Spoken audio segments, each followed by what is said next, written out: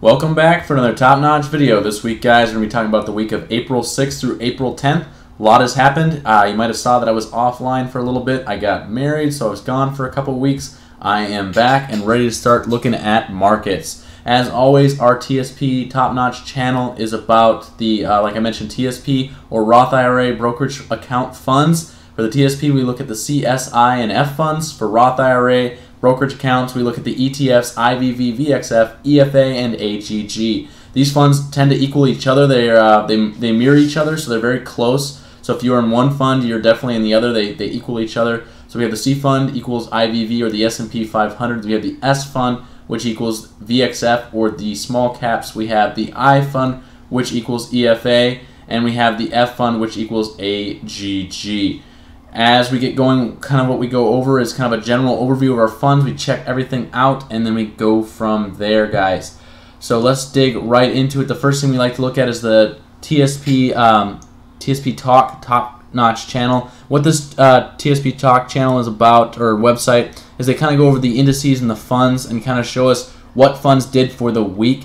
As you can see, TSP funds had a huge week, guys in my entire career of doing this, I've never seen funds up this much. 18% um, gain for the S fund, 12% gain for the C fund in just a single week, and that doesn't even include uh, Friday's close. We weren't able to get that in at the moment, but this has erased about almost half the losses we took for this um, crisis. So that is really good. That is pretty incredible um, on a chart basis. As you can see here, I've never seen charts like look like this in a single week. I mean we gained almost uh, 30% in the funds for an entire year last year. This rose almost 18% and 12% respectively in a single week. Very, very incredible moves. Huge moves for this week. Where are we going forward from here? What do we need to look at? Looking at the uh, S&P 500 with such big gains, one thing I want to be cautious about uh, on the Top Notch channel and going into this is what, where do we go forward from here? So we just had a giant week here, guys. As you can see, TSP Talk does some good charts here. Please check out their website if you're interested in them. Um, we're getting close to that 50-day moving average, getting close to a lot of resistance with the S&P 500. So we want to be watching our technical charts very closely as we continue forward with these moves. We've um, lost a bit, but we made a lot of it back for our charts, and I'll go ahead and show you what we have exactly in the Top Notch channel at this point. Um, as you can see from 2008, what we saw here when we got to the 50-day moving average, saw a lot of resistance in here and then a, a big waterfall uh, effect downwards again before we saw a bottom. This happened over a number of months. So we're approaching that 50-day moving average for the first time. So we want to start looking into our technical charts and seeing what they show us to try and get out so make sure we don't take additional capital loss. At this point, we are more uh, bearish than we are bullish, so we're going to be taking a very close look at our funds and trying to protect capital during these times without trying to lose additional capital. Um, moving forward for the S&P 500, as you can see here, like I mentioned, we're near that 50-day moving average. Uh, we are getting close to that. We do have a gap up here. Gaps are tend to be filled, but we have some gaps below as well. Seeing a lot of resistance in here. We'd like to see this gap filled. Looking forward to seeing if it will end up getting resistance on this line here. This is the 50-day moving average, or if possibly we could get to the 200-day moving average. As you guys remember, we kind of bought in after this uh, this low here, we bought in right around this area for the top notch channel. So we took a, a quite additional loss off of that. We did not expect that to come. Um, we just thought it might have been a 10% 10% correction. But as always, markets do a lot of different things. We were able to make a lot of that back this week, which I'll show you. Hopefully, we'll move back to this 50-day moving average. We'd like to siphon off some of our capital again um, taking very little, if any, loss for the year. But we'll have to wait and see where things go from there. But that's what we're looking at for technical analysis for the S&P 500. That's IVV or the C fund. Um, one thing we saw here with the weekly moves. Uh, this is the weekly chart here. This is the trading range all the way back to 2018. As you can see, we've been in this box for quite some time. As we know with boxes, we tend to go up and down, up and down. As you can see, um, back in 2018, right towards the end of the year, we were out of that box. A lot of fear in here, and we ended up going into that box and then overextending towards the back half of 2019. Huge difference from the last year, year before it. And then we dropped all the way through this box, and now we are back in it. So yet to be seen here of where we're going. We're seeing some gaps here. We saw a gap way up here and a gap here. We're going to try to shoot for this gap in here and maybe try to remove some of our capital in the future just to try and protect that. But we'll have to wait and see where markets go. Um, one thing I'm kind of curious about about for a retest is we saw all the initial drop for the, the virus. We're kind of past that point now with virus stuff, and now we got to see where the uh, economic damage is done. So that could be our second retest bounce off the lows. Yet to be seen, yet to be determined. Um, we don't make predictions on this channel. We just kind of like to put some of the data out on what we see. Moving forward, we're going to get into some of our basic charts and kind of go through each one of those. One of the first ones we start with is IYY. That's a general market fund of all stocks and everything that's in the market. We kind of like to look at that, kind of see what the general market's opinion is, because that's the only opinion that matters. No news articles matter. It just depends on what the general market says. So looking at IYY, what are we seeing with IYY? So with IYY, we saw this uh, bounce here at the 200-day moving average. We thought, oh, this would be a great time to get in. We got in here on the Top Notch channel, and then we saw a significant decline. Now, the reason we didn't uh, get get right back out of markets is because we didn't want to miss a week like this. If you would have missed this last week, you would have taken a serious hit. That is that is a week that you will probably never see again. That is an incredible volatility back up in the markets, and if you missed out on that, that is um, rough, very very rough. So we were able to um, navigate this downturn here, and we are still in markets right now. As you can see, we're seeing starting to see this 200-day moving average start to decline a little bit. That makes us a little bit worried. And like I mentioned, that 50-day moving average is right here.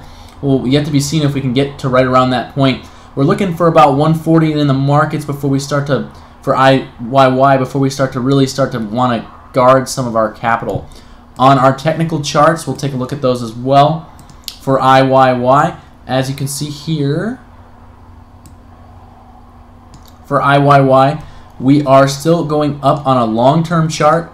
We did turn around here, so our, our, our long-term charts did turn around here. And one thing I would like to mention is we did see a couple bars in here right around March timeframe. We thought this would be a good time to buy in, especially when Bollinger Bands came down. And sure enough, um, uh, we, we bought in towards the end of the 6th, or March 6th there.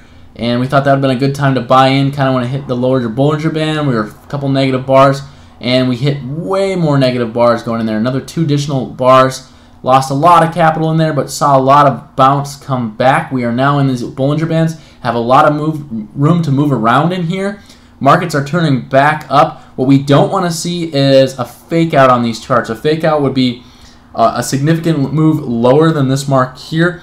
So we want to be very, very careful on the weekly chart. And the way we find those um, the fake outs on the longer term charts is by looking at shorter term charts. So on the midterm chart, as you can see, we just broke through on the midterm chart. Very positive here for IYY. Looking very, very good.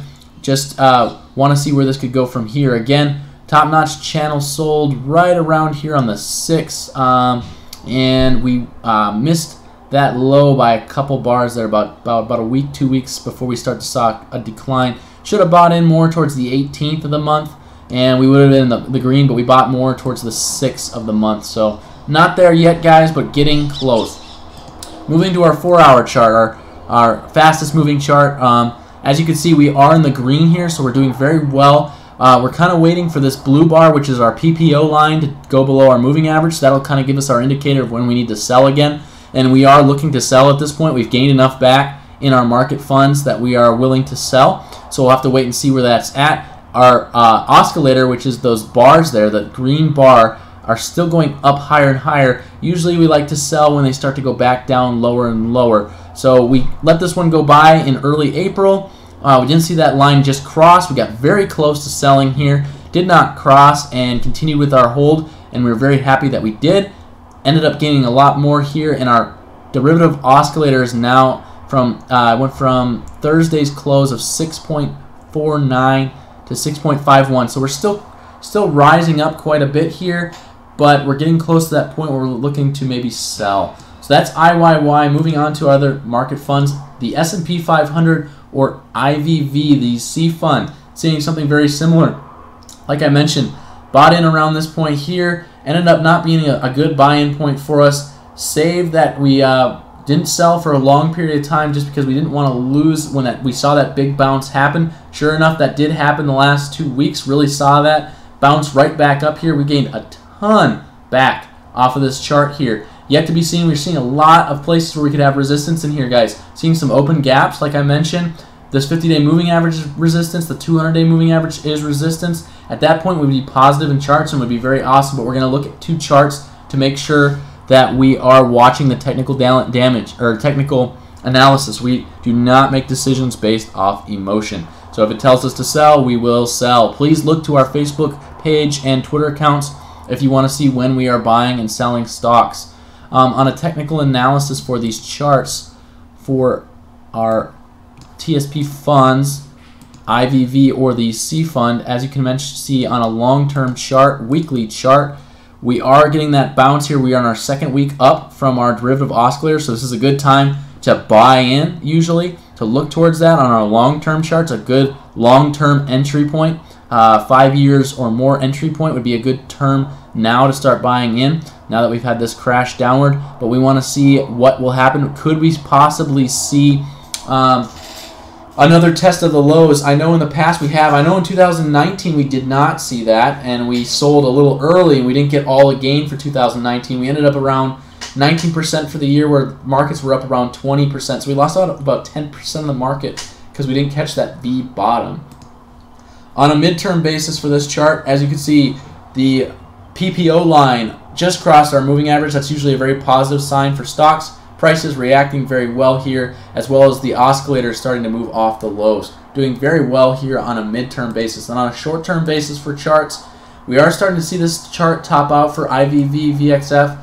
Uh, we'll have to wait and see for that. Like I mentioned, we're not going to sell probably until we see this line cross below again. So we're waiting for that. That's kind of our, our sell move for IVV. We'll make sure to let you guys know this week if we see that.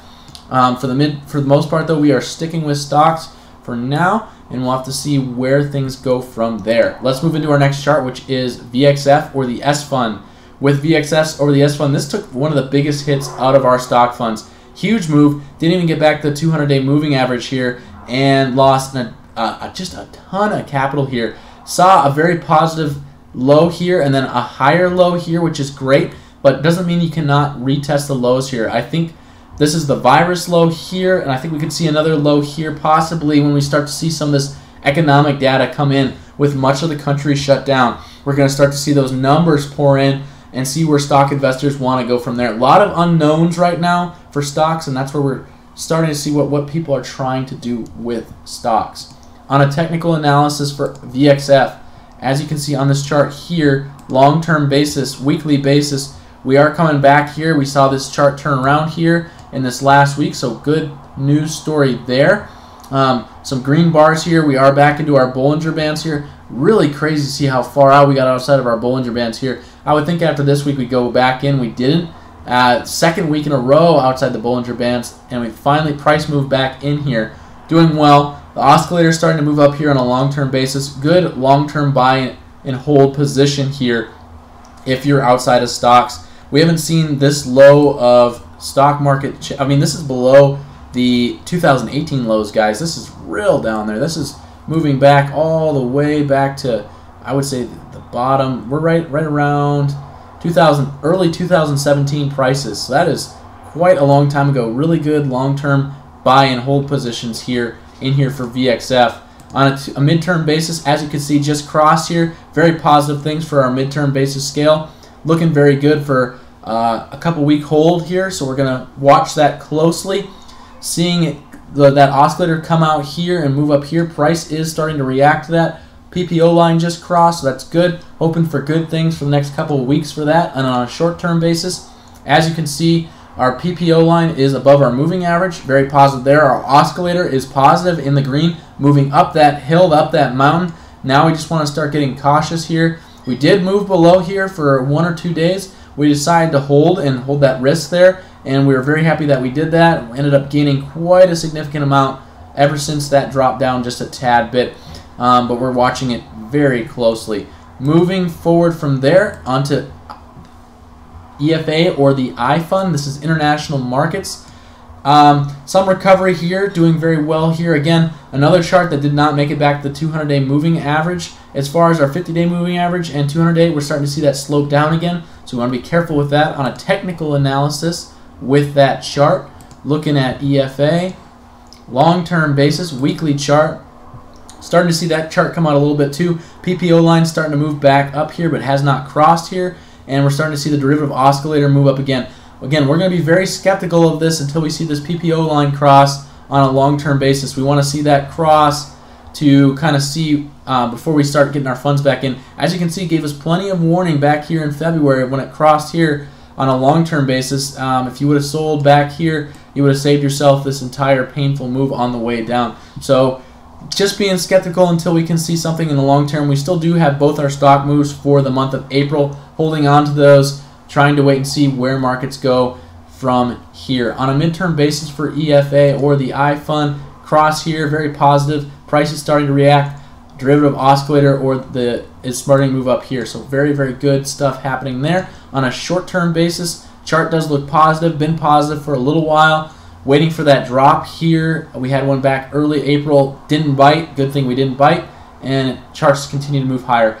Um, as note, we are not in EFA right now. We are in the C and S funds, but that's where we feel we need to be, and that's where we feel most of the gains are happening at this time. Finally, let's look at bonds. One of the most interesting things.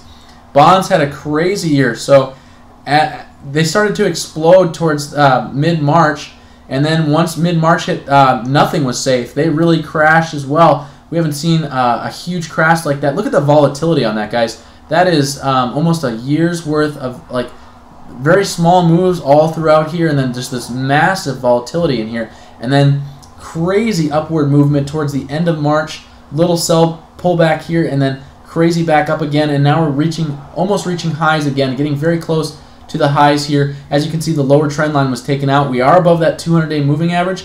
Safe fund to be in. Um, if you're older, or uh, this is definitely a safe place to keep your capital for right now if you don't like all that vol volatility going on in the markets. As far as the F fund or EF or F fund or AGG for stock prices on a long-term basis, as you can see, we just crossed on that 200 uh, on the, the weekly basis look at how quick this move was. You had uh, one week to get out here, and then basically just turned it around in three weeks, very quickly here. And you wouldn't even you wouldn't. It would have been very hard to catch this based on our market model and our our notes here. It would have been very hard to catch this. We would have sold sometime right around here, and then um, we would have got back in markets uh, right around here. We would have um, basically on our scale, we would have almost lost money on that scale. That's how quick that move was. It was incredibly fast. AGG is back up on the positive, so this is where we're going to be transferring money when we um, move out of stock funds instead of the G fund. Now that this fund is back up, doing very well here, this is positive. PPO is positive, doing very well. So that's where we'll have funds based out of when we are out of stock funds. Right now we are in stock funds. On a two-day basis, we did see this jump way up here. Very rare to see the PPO line cross um, without a positive chart. We saw the PPO cross here April 30th, and we saw the derivative oscillator turn positive sometime about almost a week later. So just a ton of volatility going on, guys. And then on a short-term basis, as you can see here, drop below this line here, which is very sketchy on these short-term charts. And then we're able to move out, but we are outside the Bollinger Bands for price. So we want to watch that very close, tight in here. Want to be very careful when they're tight like that. Usually that means big price movement on the way. Want to be careful with that, but right now AGG is up and doing very well. So that's all of our stock funds for this week, guys. Again, I got married, so I was um, out of the loop for two weeks. I apologize for that. Please like, subscribe, or share. Really appreciate your guys' comments below. Um, for right now, the Top Notch channel, like I mentioned, I'm going to show you guys some things here. We are invested in the C and S fund. Um, we are 50% in each one of those, which is 100% of our portfolio in stocks. Like I mentioned, we uh, bought in right around this area here uh, based off a 10% correction. We saw a ridiculous uh, fall from there. We held on because we want to be careful about the weeks to come. As always, look at this. I mean, if we would have sold somewhere in there and missed out on this game, we would have been disappointed. Did we make it all the way back? We'll show you guys right now. No, we did not. We are still down about 5% for the year. It's not terrible. Market funds are down more than that. They're down 13% and 21% and 20, 20% respectively. So we are beating those market funds out quite significantly. We are lagging the F fund about 7 or 8%, hoping to make that back with some. It's still uh, second quarter of the year, so we still got a lot of time to make that up. Got a lot of work to do, but we are ready to make those moves, ready to make that work. And of course, we just want to be careful if funds do decide to bounce. But only 5% down for the year. We're feeling pretty good of where we sit. Hoping to get positive by the end of this year. Uh, moving forward, being a managed portfolio, we feel pretty confident about that in our moves to come. Last thing I want to show you guys is um, just a chart from 1932 to 1937, the Dow. So as you can see here, they had a giant fall, which kind of like what we had here, and then they had a giant move upward, which was great, but then they had quite a few months of downturn. This is what we're trying to avoid here on the Top Notch channel. We want to get this gain back of what we got. I don't know how long that will last, and then avoid this really treacherous downward period for months on end. And that's why we're looking to those uh, weekly long-term charts to kind of drive our decision making. So based off of that, not off emotion, will determine how much we stay in stocks. I can see us pulling out a certain amount, definitely in the weeks to come to kind of protect capital because we really want to avoid that. But guys, one thing I want to show you, one thing that's really cool is after we had this retest, which wasn't even a retest of the lows, which we could see a retest of the lows. If we don't, we could just see some decline here from the economic fallout. Virus fallout here, economic fallout here, we could see that. What happened after that period is we saw years and years of really great growth. So don't just stay out of the markets for years to come. Um, it's really important that once we see a retest, or if we do see a retest, we'll always look to charts. We could see quite a significant gain off of these lows or off of a retest in the next year or two uh, to come. So please uh, keep that in mind. Want to keep a positive note on the end of the video. Again, please like, subscribe, or share. Really appreciate you guys. Have a wonderful week. That's another top-notch video. We'll see you guys next time.